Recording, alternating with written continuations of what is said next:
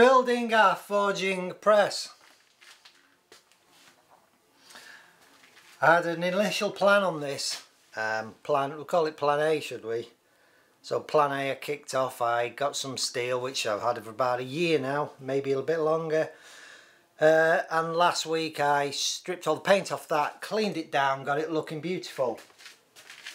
And that was oh, that was plan A steel. RSJ. It's uh, I don't know what the it's not mild steel, put it that way. It's a it's a step up from mild steel. It was some kind of tracking off um, off a big old industrial building. So I cleaned all this up, cut it to length, all the pieces, uh, ready for welding and my stuff arriving.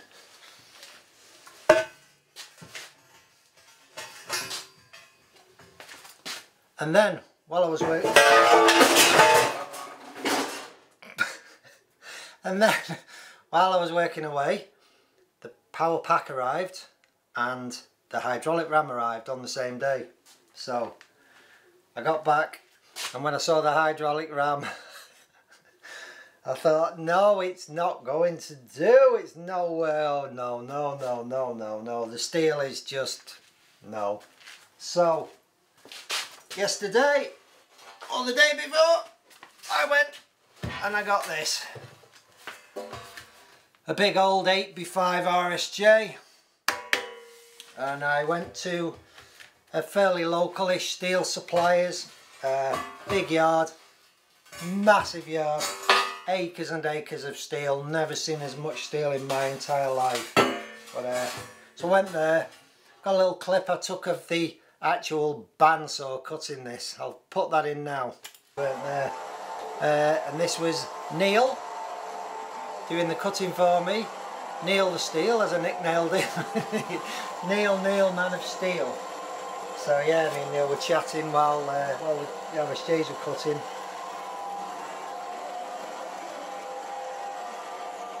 And then, my next challenge was ordering an inverter to run the motor because I'll show you the motor. It is a monster. It's a 5 horsepower 3 phase and it's a big old thing.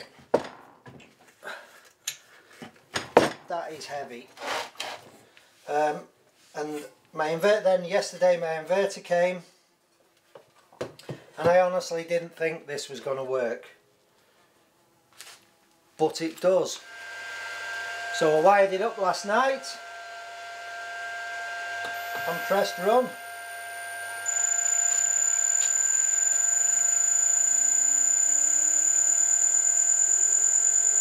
That is our 5 horse, 3 phase. This run up time is it's set maybe a little slow. I may shorten that to just increase the, the actual run up speed. To me, that doesn't seem to be spinning fast enough but uh, I've sent for a little tachometer to just check the speed of this. I may have some settings wrong in the in the VFD but uh, something I need to check. It's supposed to spin at 14 1450 RPM I'm not that doesn't seem that doesn't look like 1450 to me. Do you want to eyeball the cylinder this is why I decided that plan A was not going to work. So we needed a plan B. Uh, it's a 5 inch it's 5 inch cylinder with 300 mil of stroke. I'm only gonna I'm gonna set this up so I've got about a 7 inch gap between my dies. So this cylinder really is never going to move more than 7 inches I need to mount that motor onto the uh, pump, fill it with hydraulic fluid and test out this ram. All them crossed now. Don't even know if this is going to be successful. This is a 29 ton ram um, and the way this is set up it should give me 20 tons of squashiness with uh, with a speed of about one inch of travel per second on the on the actual cylinder on the actual ram. Um, whether that happens or not I don't know because I don't think that motor's quite set up right yet. But anyway let's uh, I'm going to connect this up and see what happens. Well that's kind of it. There's a control valve put some I put 20 litres of hydraulic oil in it I don't think that's enough because when it it starts to fill the ram it's going to empty this reservoir so I'm guessing I'm probably going to need about another 10, 5 or 10 litres of oil. But I'm going to fire it up, switch it on, see what happens. I don't know. I don't know what the bar is. This this is going to run maximum one, 180 bar, no more than that. So we are over there, just under 3000 psi. So I'm going to switch on, see what happens. I do know that the I do know that the uh, the bar pressure needs adjusting on the back of the pump there, but uh, I don't know. We'll see what happens first. I don't even know if the hoses are the correct orientation. I don't know which way is the flow and the return on this yet. There's no arrows on it. Yeah, it should make a good video anyway if it all blows up.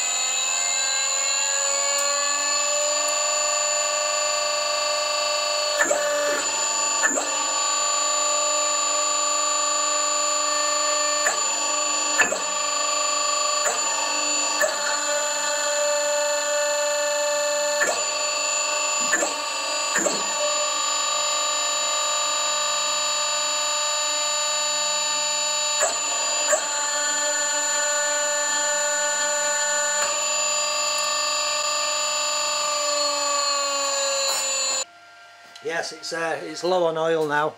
The reservoirs run right down as it's filled this cylinder. Uh, I'll have to have a play around with it. I shall come back. So I've laid the RSJ out on my saw table because I know this is dead flat. Because I wanted to get all these what I want what I absolutely need is these two faces parallel and square because uh, that is the that is what the uh, RSJ is going to slide up and down in. So th this is going to be bang on. Whatever else is on the sides of this is fairly irrelevant. And you can see that these things are not they're not symmetrical these RSJs if you now put a straight edge across them you can see a gap there. You put them across there you've got a put that across there you've got a gap there you level them two off you're hitting that one and you're over that one. So I couldn't I couldn't just lay these on on this flat table because both sides were slightly out. So what I've done I've clamped everything up. These are these are dead square these small blocks. Um, and everything there is perfectly parallel and square. It's beautiful so that will give me a nice clean mating sliding surface for my uh, for my squashiness thing. I'm going to, it's got my MIG welder, but my MIG welder ain't so big. So I'm going to use my arc welder on this because I've just I've just done a little test there with my arc welder and I'll be able to get a much nicer bigger bed like that with the arc welder on so that's fairly thick stuff and it does that without any problem so that's what I'm going to do. I'm just going to tack it together on here on this bench. Just going to weld up in this webbing a few good a few good runs just to hold all this together. Then I'm going to turn the thing round and square this end up and clamp that up and do the same there then. I'm going to take it all outside and get it all welded up. There kind of gives you a bit of a visual there. Just welded that up it's nice and parallel and totally square and there's the ram that's going to go inside we'll lay this monkey down now. Get her welded up. Well I'm happy with them welds uh, they're good thick strong weld. And I know I've welded each side of that web um, and I know that's not going to move. The next task is to cut this 8mm thick steel plate which is, I don't know what's that, 3 eighths or something like that, somewhere around, somewhere around there. Anyway I've got to cut that to fit inside that webbing. I'll put a couple of little blocks in there or some tacks of weld just to hold that uh, in place I'm going to run a weld round. This is the top of the, the actual press. Um, and I'll need a little lock, kind of lock collar, swinging lock collar. So I'll just have to put another piece on the front of there which I can then um, drill a hole and tap it to take a bolt to hold that little lo locking collar in place. So cut two of them, there's one for each side. I'm going to weld them in and then when that is welded up um, I'm going to clean these faces up here just get that bit of mill scale off and just run a file across and just get it as flat as I can and as smooth as I can just ready ready for this operation. That'll all be greased up. So I think I'm, I'm going to leave it there for now guys and I will come back uh, when I've got all this welding done um, when I've got some legs welded on the bottom of this uh, because the legs or the bottom, the base of this thing is going to have casters on it uh, and it's also going to house the hydraulic pack which will be it'll kind of be a part of it.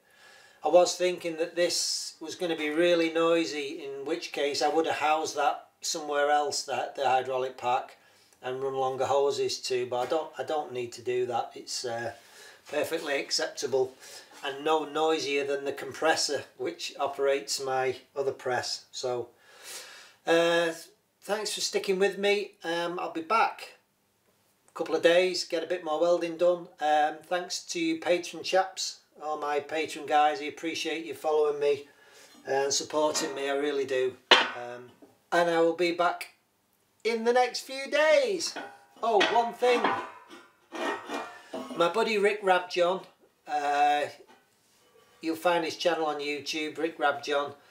He's on Forged in Fire. I think it is next week, the 20th, uh, maybe the 24th or something like that, about a Wednesday anyway. He's on the, he's in the tournament series. He's one of the metal workers on the last episode of the four.